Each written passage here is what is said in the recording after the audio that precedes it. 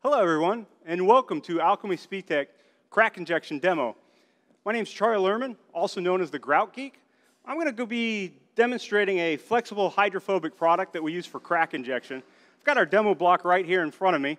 Um, and what this represents is uh, a concrete wall and a concrete joint. So right here, I would be on the inside uh, of a basement or subgrade, parking garage, whatever you like there. This, if you would imagine with me, would be the soil side. So this is the positive side where the water's coming from. This is the negative side where you're standing. And then this plexiglass represents the concrete that would continue out right towards you. And the interface between the plexiglass and the concrete, that's going to be our joint or defect or crack that we're going to go ahead and grout there. So I'll get more uh, to, to back to this in just a moment. But we're also going to talk about the pumps, the equipment for it, and how to handle those. So we use a Titan 440 airless paint sprayer um, as our uh, delivery method. There's basically only two modifications to it. One is that we take the filter out and just put a plug there, uh, so the filter's just completely gone. It's been deleted. The other thing is we don't use a spray gun. We have our injection gun that we put on here. This is a high pressure ball valve that connects to a Zerk connection. So for those who are not familiar with what a Zerk connector is, it's a typical grease Zerk connector, but you see we have a four inch, uh, uh, four inch by half inch diameter packer. So this is considered a half inch mechanical packer of four inch length there. You can see I already have it installed in the side here.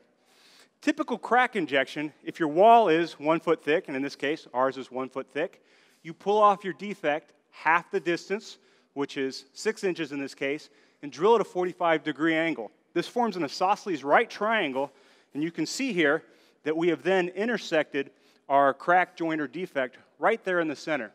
Liquids are lazy. They're going to take path of least resistance. So if we'd come in straight from here, the path least resistance is to come right out. You'll see through the demo, when I come in this way and start from the center, it has to travel out and usually gets to the back side just as it's getting to the front side, and so we end up with a full depth repair in there. So let's, let's get back to the pump and, and get things started here.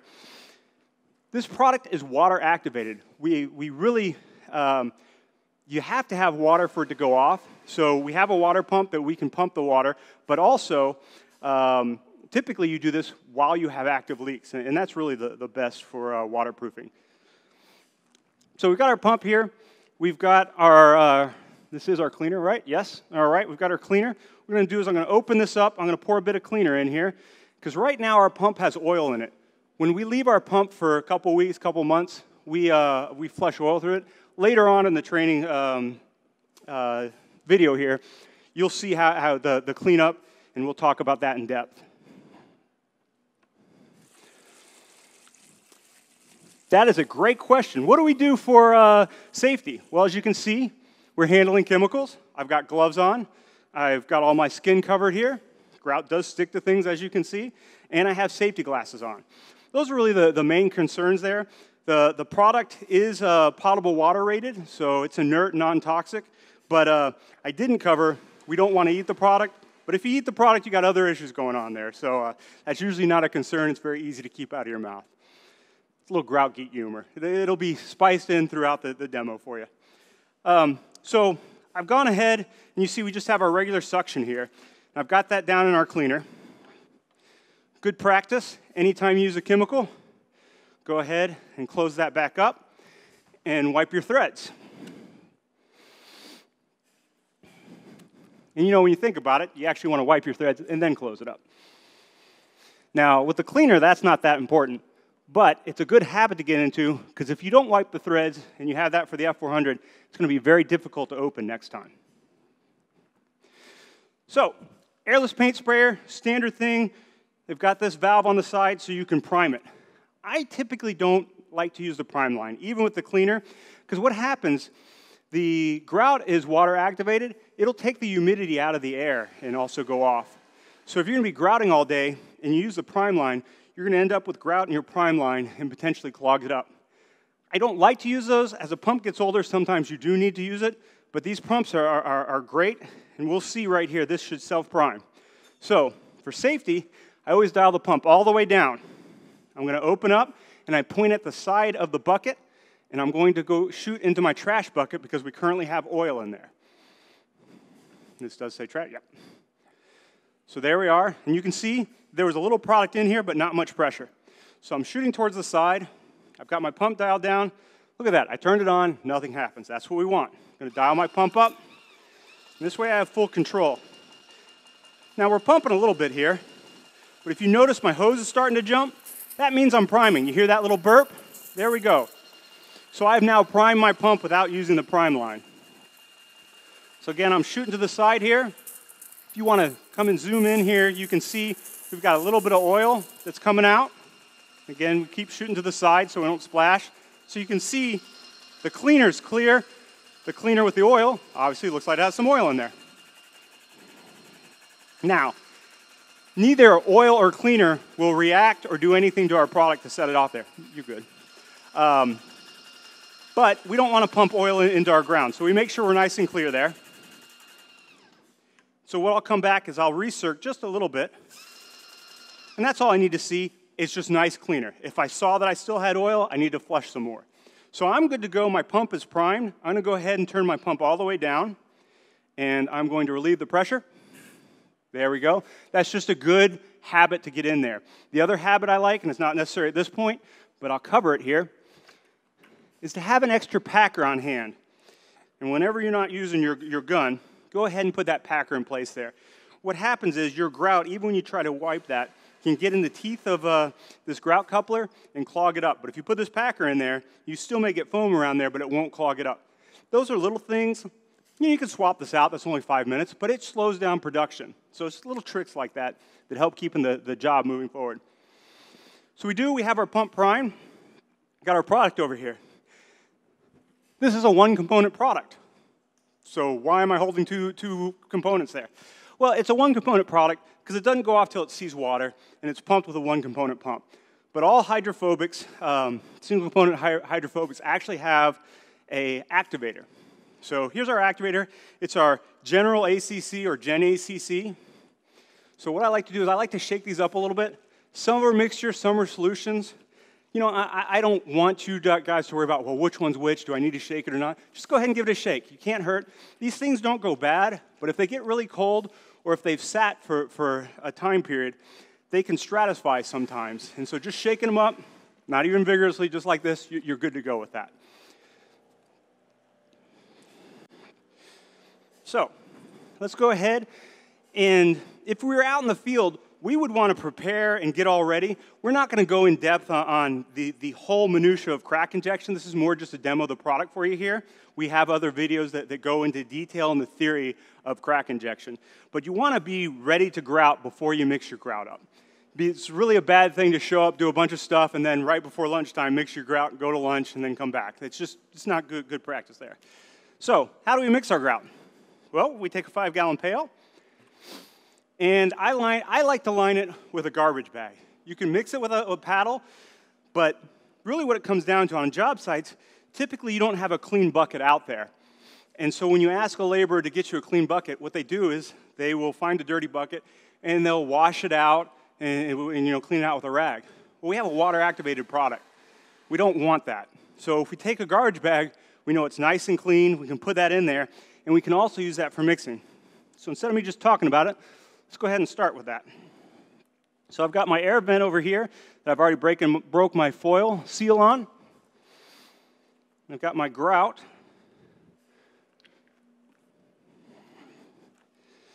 Now, I've got a highly calibrated eyeball, and I'm going to pour about two and a half gallons in here. Why two and a half? Well, for the demo, I just barely need anything. But normally, it's good practice out in the field. Mix up about two and a half gallons, two gallons. I've even seen some contractors who like to just mix up one gallon at a time. But uh, I like two and a half gallons. It's an easy range to work with, and you never know what's going to happen when you start injecting. The other thing is that I'm going to start off with half catalyst. You can do 10%, and you can do 5%, or any ratio in between there. This is not like an epoxy. If the epoxy A and B don't mix right, you've got a mess there. This the more activator we have, we're at 10%, it's going to go off the fastest it will. Whereas if we're down at 5%, it goes off slower. Typically for crack injection, we want to start off going slow because we want our product plenty, of time to penetrate. If we have high flows or very cold water, we may want to increase the accelerator. But again, with that, we, we go more in detail when we talk just uh, specifically on the theory of crack injection. So I poured my product in, I wipe my threads, put my cap back on. If you notice I'm sweating, I'm trying not to sweat inside the uh, bucket there. All right. So here's my activator. So normally, one of these to one of these, because you know I said percentages, and you're probably, well, how do I do that in the field or whatever? Am I going to weigh it? Do I do some ounces? Yeah, so, some people get a little container and, and measure the exact ounces. I just, just like to look at this. Well, I poured half of this in there. Now, I only wanted half. So here's the real math I'm doing. Instead of using half of this, because I only used half, I'm going to use a quarter, all right? We also get questions sometimes on how come the level's a little different. Here in Georgia, depending on time of year, it can be hot or it can be colder, and depending on where we ship it, the volume may look a little different, but it, it, turns out it's, it's packaged by weight and not by the exact measurement on there because your bottle can change shape a little bit. So I just take a look at that. And again, I'm going to eyeball it. I'm going to go down to right about the 1400 millimeter mark there.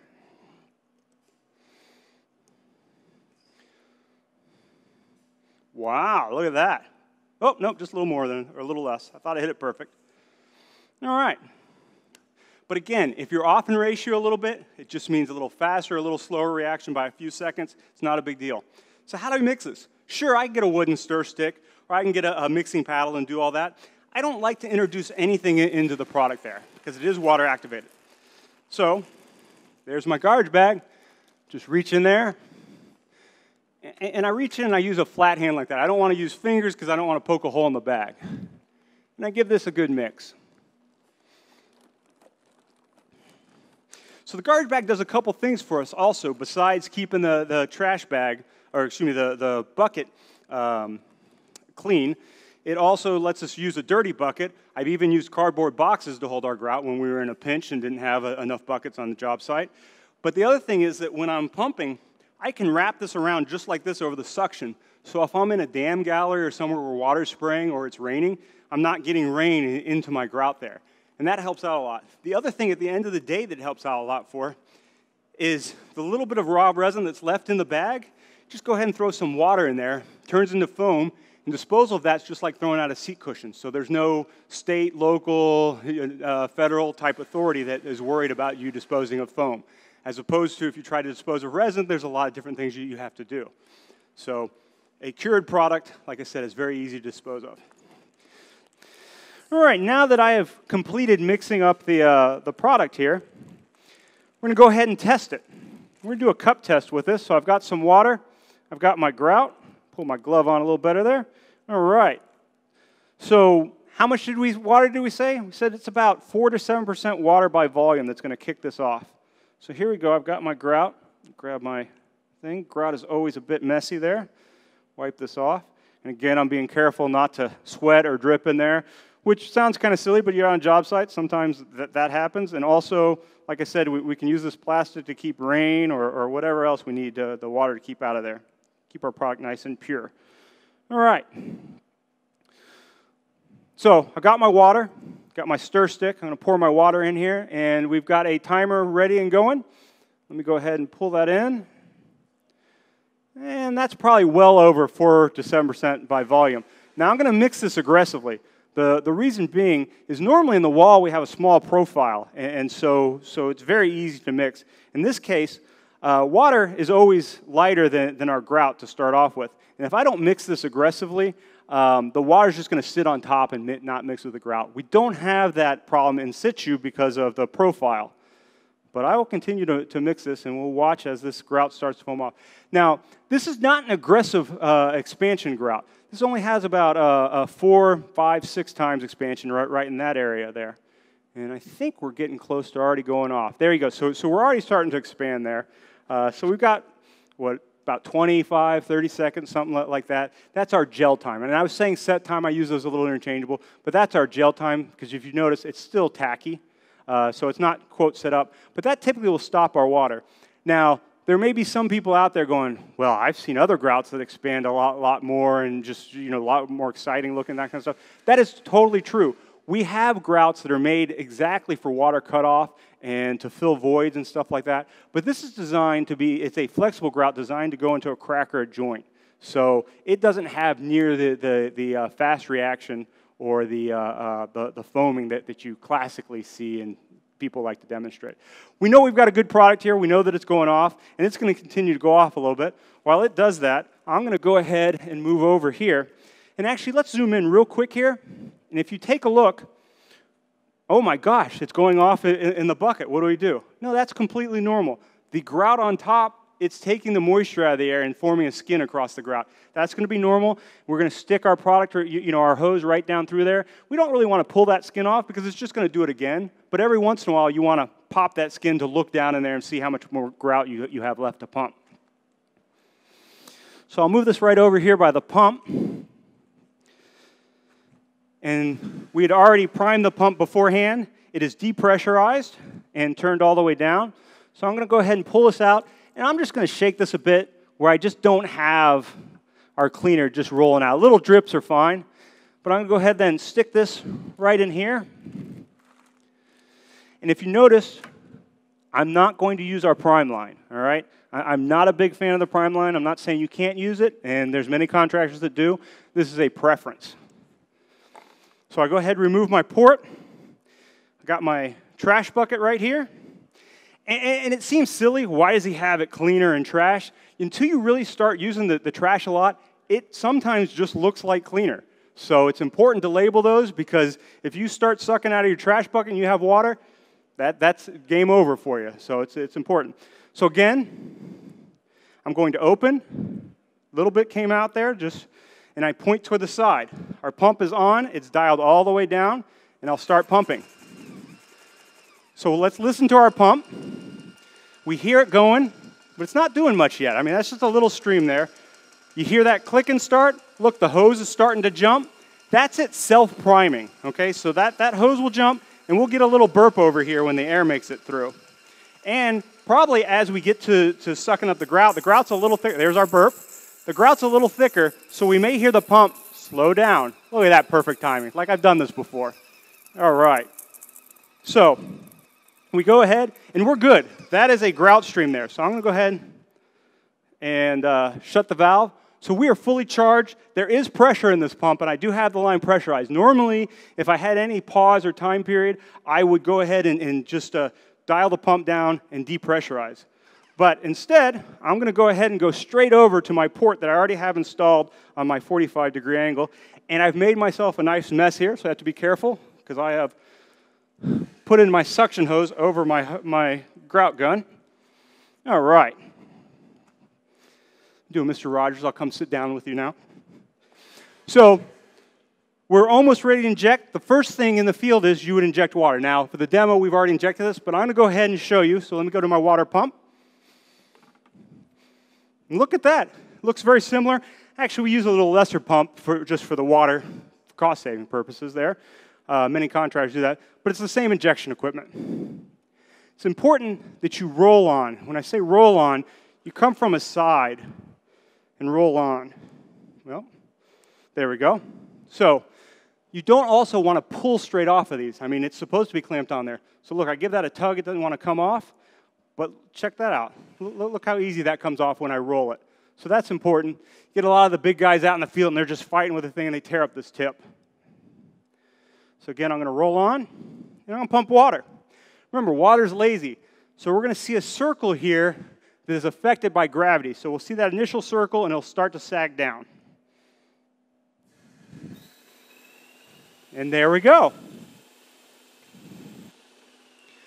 Now, if you notice, in our joint here, we didn't actually get water out to the area where we would have seen. It, was down a little below and maybe right down here where we'd hit the floor or something like that. That's typical because this, honestly, we would consider this a pretty wide joint when we're doing crack injection. Um, so, so that's normal because, again, water's lazy. It's going to travel down. Again, I roll, take it off.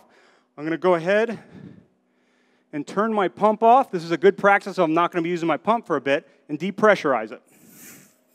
That way, if anything happens, that's just a nice safety measure there. We don't have a pressurized pump laying around. All right. Now we're ready. We've got our grout charged over here. As you can see, our foam has completed its process. It looks nice. It's nice and fluffy. Um, while that looks really pretty, that's not what we're shooting for in here. We want a compressive and, and mechanical seal. So you, will see during this demo the, the difference in the foam production when it goes off in compression. So again, I roll on, I'm on. Let's go ahead and focus in here. So we know our port is right here, and we can see some of our fresh water that we just did. So I'm going to open up. You can see how our grout's coming out around there and moving up, and it's slowly building up. But look at this, it's going out the backside of the wall first, and so we would never know that. That typically would be going in soil, but now, there, I've seen my grout come out the front of the wall first. So you understand there's a lot going on in there that we don't know uh, uh, about. So let's watch this. Look, we're getting some production of foam. You can see the, the white going off. And look, it's gravity draining right now before because we, we've lost our pressure and we have a wide joint. Remember, we're not pumping anymore. And we had our set time, and you can see it's already starting going off. And again, no stir stick. Remember, we talked about that profile difference when we're inside, inside the joint. So look at our production. But I want you to focus on what's actually happening. If you see we're starting to expand now and we're pushing in, and all these little black dots, that's carbon dioxide. That's what this, uh, this product's a pre-polymer, and that carbon dioxide is forming and trying to form these larger cells. But this is closed cell as well as this is closed cell. The difference is the carbon dioxide, look right there, that's perfect. It's being pushed out. But when it's doing that, remember, we only saw grout down here. Look how high we got grout coming up here now. So these are important things to, to watch for all this stuff we can't see going on in there, but you can find it's found its path least resistance is to keep pushing. So it's pushing the, the, the uh, newest grout still out. It'll continue to go off and seal all this up, but you can see we've come up the top and, and how far we've moved and the coverage we got. And of course, we always like to make a mess when we grout. At least I do. So um, again, there's the bubbles, there's the carbon dioxide. We haven't been pumping now for what, 30, 40 seconds or something like that? This is all product production. This is stuff that even when you do a live demo that's out in the field, you don't get to appreciate what's actually happening inside the wall there. We don't know. So we, get three types of bonds, and everybody's always concerned they focus on the adhesive bond. And some people say, well, and, and it's true, that hydrophilics have a better bond than hydrophobics. But you know, that's one of our weakest bonds because if you think about it, what kind of surface prep did I do in, inside there? Well, it's just pumping water. That's the only surface prep we can do. But we're achieving also a mechanical and a compressive seal. You can see how it's pushing. It's going to chase any honeycombing, it's going to chase any shadowing behind rebar, it's going to go into any of those defects. And basically, we're getting a built in place custom gasket that is full depth, full 12 inches there. And, how do we know that from this side? Well, since we started off with our isosceles right triangle start in the center, we can make the assumption, and it's not always 100% correct, but if we see grout come out the front, it traveled six inches from the center, ideally it did the same. Now you may have a little tighter, than, and oh my gosh, maybe we got a 10 inch gasket, not a 12. We don't know. But you know, honestly, a little one centimeter line straight through would stop the water. So this is all extra belt and suspenders. We're, we're, we're not going to have this leak come back. Um, and, and if you want, this is a great time to rewind the video about a minute so you can see the dramatic difference, boom, between what we got right here and then uh, our, uh, and what we started off with. That's F400. You can see it's still continuing to go off a bit. And um, that is normal, and that, that'll continue for, for, for just a, a little while while it finishes, sets, sets up. So while this finishes up its process, we're going to go ahead and we're going to clean our pump. So this was a nice, easy job. so while we're cleaning, uh, this will continue to go off, but by the time we're done cleaning, we're going to come back and we're going to unbolt this and, and see what the difference is. Remember I said adhesion is our weakest seal. Just keep that in mind. All right. So, right now, we have our pump. It is charged with grout. What did I do wrong here? Anybody been watching from the beginning of the video pick up what I did? When I was done, I was focused on talking to you all. I forgot to put my packer in here. And you can see this is starting to get a little foam around there, you know. it didn't go off bad, but a lot of times on job sites, something happens or your grout travels six feet and you forget about this, and now you got five minutes extra to go ahead and, and change this out. That's another thing. You want to have extra couplers on site so you don't have to spend the 20 minutes cleaning this. These aren't bad when they get grouted, but they do take a little while to clean. And when you, are out there, sometimes doing shutdown work, you don't want to mess with that. All right. So, trash bucket, cleaner. So, how much, great question, how much cleaner do we typically use? About a gallon a day is, is normal. You could use a little more than that, but, but normally a gallon's going to get you through uh, starting up your pump and shutting your pump down at, at the end of the day there. So, I'm going to go first off, turn this down. I'm going to shoot to the side. I'm going to open up, and I'm just depressurizing. That's all. So we weren't expecting anything exciting there. So we now know that we're depressurized. I'm to wipe my tip real quick. And let's zoom in. Remember we talked about that skin? There's our skin on top. All right? So no problem. I just pull it right out. And again, what I'm going to do is I'm just going to shake this a bit and wait until I, I, get where I don't have a steady stream. What happens is if you have a steady stream and you go into your cleaner, you're going to put a lot of grout that's kind of free floating in your cleaner there. So I, I don't like doing that. The other thing I'm going to try to do is start pumping pretty quickly after I get that in there. So let's go for this process. Move this out of the way. Go ahead. I stick this down in there. All right. I've got my trash bucket right here. Open. Shoot to the side. Dial my pump up. We see grout is coming out. Watch the. Look at that. You hear it? It lost suction for a moment. Watch the hose. The hose is going to start shaking. It's already shaking. You're listening to the pump. You're going to hear that little burp. So if I had put a gallon in here, which I did, there we go. Um, what I'm going to do is at the end of the day, I'm probably getting rid of this product anyway. So if you see we've got a suction, the, the little suction tip, the, the black tip there, I'm probably already nice and clear, okay? But I've already got this product out, so I'm going to go ahead and turn this to the side. And I'm going to pump it down to there's almost nothing left in there. Then I'm going to come over and I'll recirc just to make sure you're nice and clear. One of the things that can happen is if you don't get all the grout out, you may not set up your pump, but you may actually have enough grout to start lining your hose and stuff like that, and you end up with a little plug and stuff like that. So it's just, this is very important. Um, there are people that they get concerned about, am I going to grout my pump? It is science. Water has to react with the chemical grout for it to go off. The only way you grout your pump is by getting water in there. The only way you get water in there is by not following the, the proper maintenance procedures. So I had a little trouble doing this by myself, so let me turn this off real quick. And I pretty much pumped down. So now what I'm going to do, and this will probably have a little air entrained into it. There we go. Sorry about that when the maneuvering. But I'm shooting to the side, and we can see it does have a little air in there. But what we can see is when we look down in there, that is product, or I could just wait for the, the, the froth to go away, but you can see it's nice and clear. There's no grout entrained in there. Our grout pump is now nice and clean, all right? So what we do is we would, uh, we've already got it open, I turn it off, I dial it all the way down, we are depressurized, I close this. We have a closed system. Basically, from our pump right here all the way out to here, we have a closed system. That means that moisture can't get in there and that we've got our cleaner in there. So when we start grouting tomorrow, does that mean we're ready to go and we can charge it with, with grout? Well, no, because what happens is overnight, this is going to be empty, all right? So our whole suction line.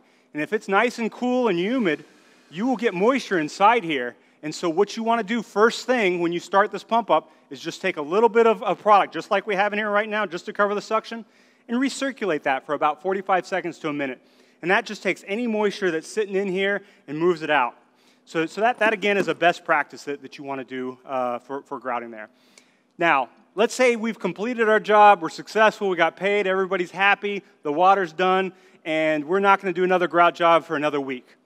Well, Best practice is to go ahead and take a cheap cooking oil, a motor oil, a, a transmission fluid, whatever you want, some type of oil, and run that through your pump. So it'd be the same process how we just flushed the uh, um, grout out with, with the cleaner. Now we can flush the cleaner out with the uh, oil. What the oil does is it keeps uh, water from getting into your pump because you've got something in your pump there, but it also keeps your seals nice and lubricated. So for storage, having some type of oil in there is, is, is the, the best practice. That is a quick run through of the uh, crack injection and the pump cleaning. So let's go and step back over here to our demo. And remember, we talked about the free foam. We're going to look. This is the grout, so there's no Hollywood magic going on here. You can see again, we've got the free foam. You can see what the grout looks like right here. But let's see the difference. So, we talked about three bonds. What were those three bonds? One, adhesion. It sticks to stuff. We, we know that. All right? Two, compressive. It's going to squeeze itself into place, and we saw it squishing all those little black dots of carbon dioxide out. Three is mechanical. Now, with this demo, we don't have much of mechanical because we really just have two flat surfaces there. And most of our mechanical is on the concrete side where, you know, it has any of the, the little divots and pores and, and, and capillaries that you have in, in concrete naturally. Um, but when you're looking at a crack or a pipe penetration or something like that, you've got a bunch of places that you can lock in mechanically on that. All right. So, what did we say was our weakest bond? Adhesion, right? I might have to get the, uh, there it goes. So this is adhesion between concrete and plexiglass. And you can see how difficult that was to pull off. And you see some of it decided one side or the other there. But when we compare this exact same foam right here to how fluffy that is, and we start looking at it in here, it's nice and dense and rubbery, and that's what's giving us all our bond. You can see these are very tiny cells. And for a great comparison,